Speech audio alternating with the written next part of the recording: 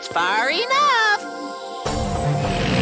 I guess you were just a little too late. It's really too bad.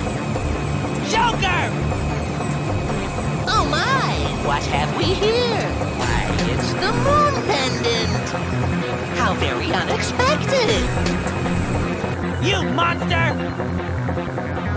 Anyway, now I have what I came for. All that's left is to get rid of you two.